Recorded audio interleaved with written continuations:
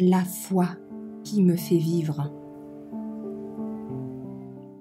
Celui-ci est mon fils bien-aimé, le 18 mai, enterré avec lui dans le baptême.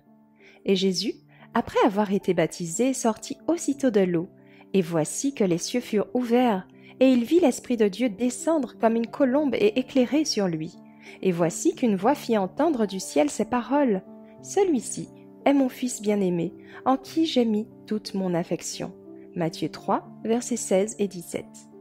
Lorsque Jésus demanda le baptême, Jean recula en s'exclamant J'ai besoin d'être baptisé par toi, et tu viens à moi? Avec une autorité à la fois ferme et douce, Jésus répondit Qu'il en soit ainsi maintenant, car c'est ainsi qu'il nous convient d'accomplir toute justice. Matthieu 3, versets 14 et 15. Et Jean, cédant, conduisit le Sauveur dans le Jourdain et l'ensevelit sous l'eau. Et aussitôt sortant de l'eau, Jésus vit les cieux s'ouvrir et l'Esprit descendre sur lui comme une colombe. Marc 1, verset 10. La solennité de la présence divine reposait sur l'assemblée. Les gens se tenaient debout en silence, contemplant le Christ.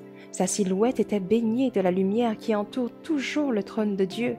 Son visage, tourné vers le haut, était glorifié comme jamais auparavant. Il n'avait vu le visage d'un homme.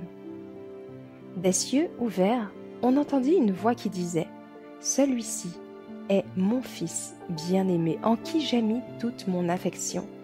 Matthieu 3, verset 17. La parole qui a été adressée à Jésus au Jourdain embrasse l'humanité. Dieu a parlé à Jésus en tant que notre représentant. Avec tous nos péchés et nos faiblesses, nous ne sommes pas rejetés comme étant sans valeur. Il nous a fait accepter dans le bien-aimé. Éphésiens 1, verset 6. La gloire qui reposait sur le Christ est un gage de l'amour de Dieu pour, pour nous. Son amour a entouré l'homme et a atteint le plus haut des cieux.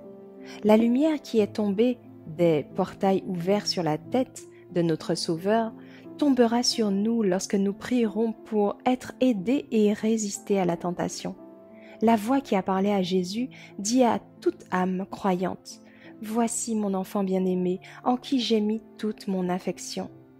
Notre Rédempteur a ouvert la voie pour que les pécheurs, les plus nécessiteux, les plus opprimés et les plus méprisés puissent avoir accès au Père.